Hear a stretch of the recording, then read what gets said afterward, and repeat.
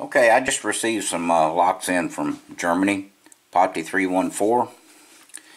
Uh, he sent a uh, DOM lock. Looks like it might be a uh, six pinner. That does work.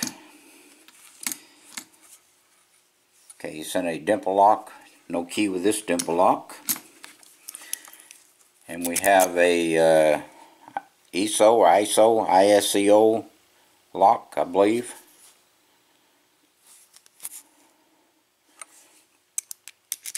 That's the bitting on the key.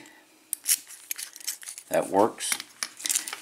He also sent a challenge lock. This is a, um, don't really know what it is, uh, S-R-R-E-B-I or something of that nature.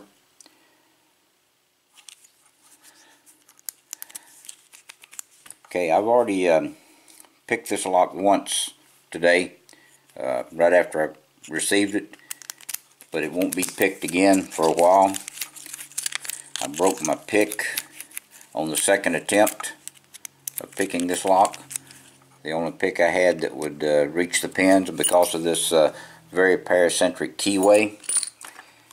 It uh, has to get way up inside on pin number four, I believe it is. It's uh, got to be set. So that uh, makes it tough. But I will um, attempt to um, pick this uh, ISEO lock or ISEO lock. It's a five pin. This is the bitting on it. I picked this one once today. So let's try it.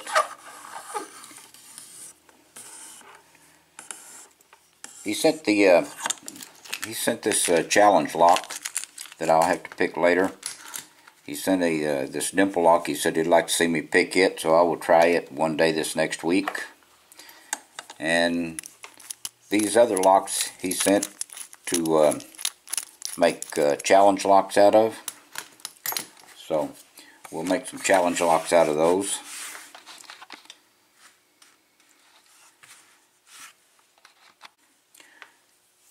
Okay, let's use the uh, bottom of the keyway. This has a Yale type uh, keyway in it. And let's start off with this pick. Let's go to the back of the lock. A little bit on pin 5. There's pin 2. Okay, we're getting a little feedback on pin 1.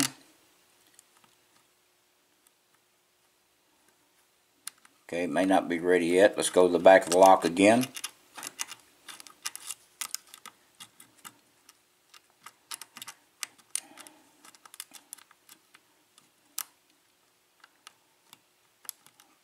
Okay, there's pin 1.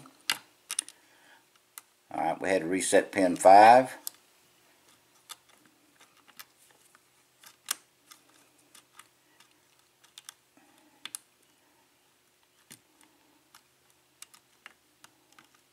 Okay, we're still getting some feedback off pin 1 for some reason. Let's see what happens. If we can get our pick under it to set it. Okay, there's pin 1 again.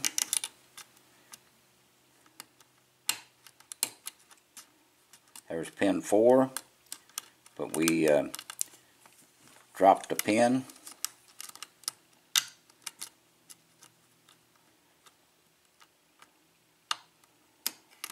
Okay, there it is open. I believe that was on pin 5.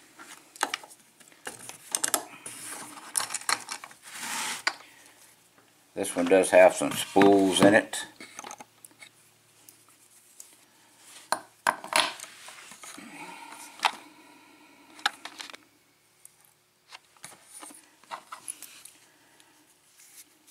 Okay, we should be able to get this uh, off fairly easy because of uh, we do have the key for it if we lock it back. So let's see what we can do with getting the clip off. Okay, there's a clip off.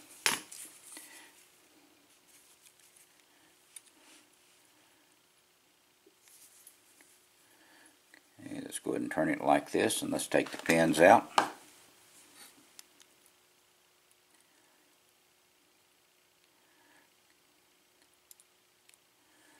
Okay, there's number five. Looks like a spool.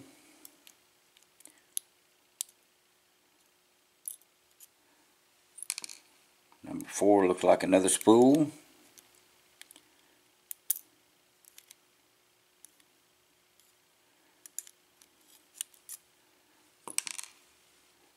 Okay, that uh, looks like a standard pin.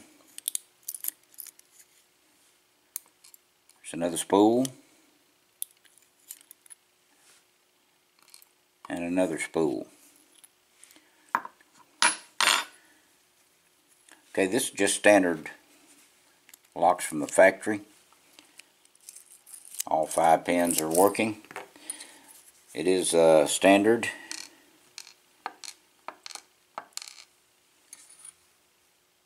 Nothing changed up about the plug or the Bible.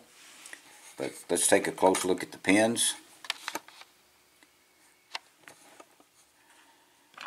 Okay, you have a, uh standard pin on the bottom on um, all five uh, pins. There's a spool here, spool, standard, spool, and a spool.